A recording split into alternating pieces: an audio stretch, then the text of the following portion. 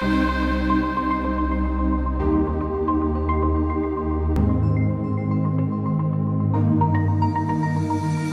name is Darren Nichols. I'm the Retail Technology Operations Director here at Henderson Technology.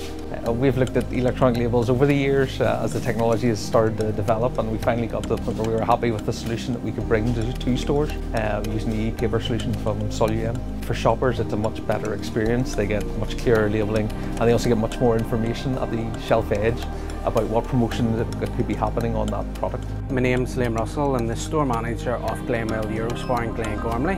What I've found with the electronic uh, SELs are they're the biggest advancement that I've seen personally in retail in 20 years management. Jobs that would have took the guys maybe six hours in the past to change uh, SELs in the store is now done within two minutes. Other benefits that we've noticed doing the one day changeover now in store, it's improving our GP. So we're looking to put half a percent onto our GP. Other things that we've noticed is customer complaints regarding pricing have now been eradicated. If something's on a deal, it'll come up on the SEL itself, so there's no issues with deals not working in store. We're very proud to have been uh, awarded the most innovative company uh, in, in, Northern Ireland in, in 2019 and we're building on that experience. I don't know what we would do without it now, to be honest with you.